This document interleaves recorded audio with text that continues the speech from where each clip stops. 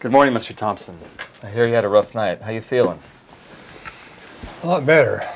I blacked out and woke up in the ICU. I had no idea I was so sick.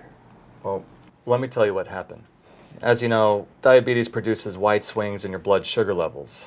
Last night, your blood sugar dropped down to 35. 35? It's never been that low before. That's dangerously low, and that's why you passed out. But we were able to get it back into your normal range, and you should be okay from here on out. So why did my blood sugar drop so low?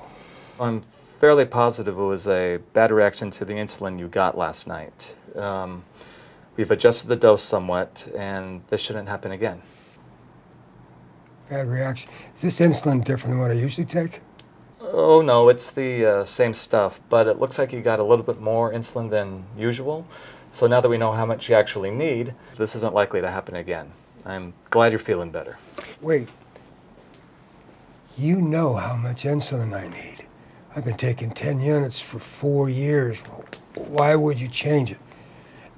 And exactly how much did I get?